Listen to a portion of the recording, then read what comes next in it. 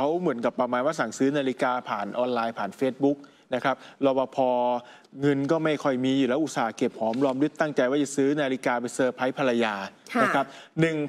1,375 บาท สั่งไปได้กล่องพัสดุมาดีใจ ไปรับพัสดุแกะออกมาเป็นยาสระผมครับโอ้โถเอ้ย จริงอะ คือเงินเงินเดือนก็น้อยนิดเก็บหอมไม่กว่าจะได้ พอได้เสร็จมันหลอกกันแบบนี้คือแบบเพราะเป็นยาสระผมเป็นยาสระนะผม ติดต่อกลับไปที่เฟซบุ๊กแล้วปิดหนีแล้วเธออันนี้ต้องจับให้ได้อะหลอกกันแบบนี้ทำแบบนี้ไม่แบได้บนี้ดูอะสิก็คาดหวังว่าจะได้นาฬิกามาให้ภรรยามาเซอร์ไพรส์หน่อย ราคาก็พันสามนี่ถ้านาฬิกาในออนไลน์ก็ถือว่าเอาเรื่องแต่ว่าพอดีมันเป็นยี่ห้อมิโดมันคงลำบากละ ราคานี้ไม่ได้แน่พันสามร้อยเจ็ดสิบห้าบาทนั่นแหละเพราะราคาเขาหลักหลายหลายหมื่นอะไรอย่างเงี้ยนะเออ พี่ก็โถเอ้ยไปดูร้านนาฬิกาทีหลังเนาะก็ไปแจ้งเราความแล้วนะฮะอ้าวเราก็เลยคงมารายจับงานได้ว่าหรอกเธอพิษเอ้ภัยยเอ่อโซเชียลมันก็ยังมีหากินตลอดแบบนี้นะฮะก็ต้องระวังนะครับค่ะ เอาละทีนี้เรามาดูนายกรัฐมนตรีมั่นใจนะคะว่าเราอะจะไม่เกิดโควิดซ้ำทั้งนี้เนื่องจากว่าตอนนี้มีโควิดระบาดซ้ำในหลายที่อะนะคะครับหลังจากที่เราเปิดประเทศเต็มที่เลยหนึ่งกรกฎาคมนี้อะนะคะตอนนี้มีคนเดินทางเข้าไทยเนี่ยเยอะมากขึ้น คุณหมอโอภาสพุทธเจริญภาควิชาอายุรศาสตร์แพทยศาสตร์จุฬาค่ะ ท่านบอกว่า ปีนี้ทั้งปีเนี่ยโอมิครอนเนี่ยจะระบาดเป็นระลอก ไวรัสเก็บตกอะคือคนที่ไม่ติดนะอาจจะติดครับ นะคะคนที่ไม่ติดอาจจะติด แล้วตอนนี้ประเด็นก็คือว่าทั่วโลกตอนนี้ BA.4 กับ BA.5 เนี่ยกำลังจะมาแรงมาก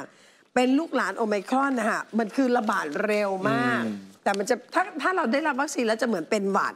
คุณหมอยงค่ะ บอกว่าโควิดคล้ายกับไข้หวัดใหญ่ ต้องพัฒนาวัคซีนตามสายพันธุ์แล้วล่ะค่ะเพราะว่ามันหลบเลี่ยง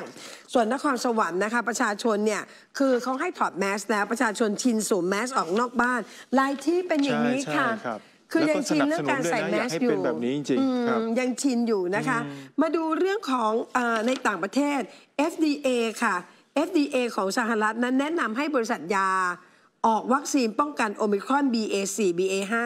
เพราะว่าตอนนี้เนี่ยมันกลับมาระบาดอีกแล้วท่านผู้ชมตอนนี้ในโลกอะคือโควิดเนี่ยกลับมาอีกรอบหนึ่งแต่เป็น BA.4 กับจุด5และจุด4.5เนี่ยติดเร็วมากแล้วเหมือนเป็นหวัดครับ เหมือนเป็นหวัด คือจำเป็นเหลือเกินที่เราจะต้องใช้หน้ากากอนามัยอีกครั้งนะล้างมือ ถ้าอยู่ในที่ที่เอ่อชุมชนน่ะนะแออัดน่ะนะคะครับเขาก็บอกให้ผู้ผลิตวัคซีนทั่วโลกเลยถึงไฟเซอร์โมเดอร์นาเอยซิโนแวคเอยโนวาแวคเอยหรือต่างๆ นานาเอยเนี่ย คือให้ผลิตวัคซีนตามสายพันธุ์อะเหมือนกับคุณหมอยงบอกอะวัคซีนมันต้องไปตามสายพันธุ์ครับไปนำหน้าสายพันธุ์ที่ซ้ำไป เพราะว่าพวกนี้มันจะเลี่ยงเลี่ยงเลี่ยงเลี่ยงอะนะคะอย. อนุมัติ Evusheld ค่ะ ซึ่งเป็นวัคซีนที่ใช้กับเด็กอายุ 12 ปีขึ้นไป Evusheld เป็นของ AstraZeneca นะคะ ซึ่งอันนี้ก็อยู่ในสถานการณ์ฉุกเฉินเหมือนกันนะคะออยอนุมัติแล้วสำหรับเด็ก 12 ปีขึ้นไป ใช้เอวูเชลของ a s t r a z เซ e c a ก็เดี๋ยวเราก็พอมาถึงก็ประฉีดกันได้ จีนลดเวลาการกักตัวเพื่อเดินทางมาจากต่างประเทศนะคะ จากเดิมเนี่ย 14 ถึง 21 วัน ลงมาอยู่ที่ 7 วัน และไปเฝ้าอาการต่อที่บ้านจากเดิม 7 เหลือ 3 วัน จีนลดลงแล้ว หลังจากที่จีนประกาศลดลงปรากฏว่า คือทั่วโลกดีใจกันหมดเลยค่ะ เพราะว่าการที่จีนประกาศลดวันกักตัวลงเนี่ยก็จะทำให้นักท่องเที่ยวเนี่ยหันกลับไปมองจีน ว่าเราคงจะได้กลับเข้าจีนเร็วขึ้นเมื่อตอนนี้จีนน่ะติดทีละ 1 คน 5 คน 10 คนน่ะนะคะครับผู้เชี่ยวชาญพูดถึงเรื่องยูเครนนิดนึง ผู้เชี่ยวชาญบอกว่า ถ้าหากว่าสงครามยืดเยื้อไป 2 ปีอืมคนยูเครนเนี่ยจะอพยพออกไป แล้วถ้าขาดว่ายุติภายใน 2 ปี จะทำให้การฟื้นยูเครนเป็นไปด้วยความยากลำบาก เพราะมันจะไม่มีบุคลากรอืมอันนี้แหละค่ะสหรัฐเนี่ยเพิ่มมาตรการป้อมบาทอีกแล้ว นี่ก็บ้าเหลือเกินป้อมบาททองคำจากรัสเซียเมื่อวานเราก็เล่าให้ฟังแล้วนะคะ แล้วก็ตุรกียอมหนุนสวีเดนกับฟินแลนด์ร่วมนาโต้แล้วล่ะค่ะ หลังจากที่รัสเซียออกมาประกาศเมื่อวันนี้ว่า ถ้าคุณเข้าร่วมนาโต้ครับเท่ากับคุณเนี่ยกำลังหันหน้ามาที่เรา และเราอะจะหันอุปกรณ์ทุกอย่างของเราไปที่คุณอืมยุทธปกรณ์ของเราไปที่คุณทั้งไม่หมดเลยครับนะคะส่วนศรีลังกาเปิดทางบริษัทต่างชาติขายน้ำมันได้เองแล้ว เพราะศรีลังกานี่โอ้โหเกิดวิกฤตหนักมากค่ะนะคะทางด้านอิหร่านอาร์เจนตินา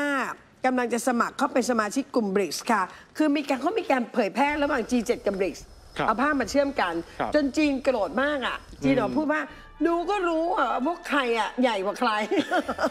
ดูก็เอาเรารู้ไปเทียบได้ยังไงเออใช่ไหมเออ ดู ก็รู้อะเออไม่ต้องมาเทียบกันเลยนะคะ ส่วนผู้อพยพในเท็กซัสเนี่ยที่ถูกจับได้เนี่ยเสียชีวิตไป ที่เสียชีวิตครับ 51นะนะคะ อีก 16 ยังอาการวิกฤตนะโศกนาฏกรรมตึกถล่มในมุมไบเสียชีวิตไป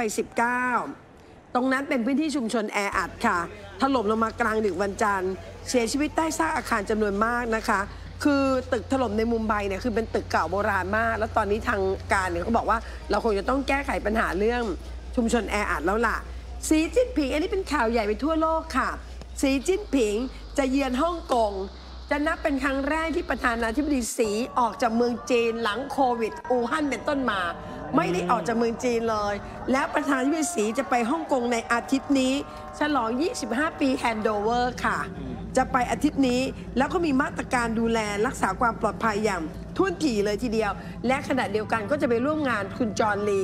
ซึ่งจะเป็นผู้นำคนใหม่ รัฐบาลคนใหม่ของฮ่องกงด้วยค่ะ นี่จะเป็นงานใหญ่ของฮ่องกงเลยละค่ะ เพราะว่าหนึ่งผู้ประท้วงไปแล้วครับจะฟื้นฮ่องกงกลับคืนมาครับค่ะให้มาเป็นเพชรเหมือนเดิมอะนะคะ แล้ววันนี้นะออกประกาศเตือนจากโซนะคะ ห้ามนำเข้ากัญชากัญชงผลิตภัณฑ์ต่างๆ เข้าเกาหลีใต้นะคะกัญชากัญชง หรือผลิตภัณฑ์ที่มีส่วนประกอบของกัญชากัญชง ห้ามนำเข้า ถ้าลักลอบนำเข้าจำคุก 5 ปีหรือตลอดชีวิต ปลูกหรือจำหน่ายจำคุก 1 ปี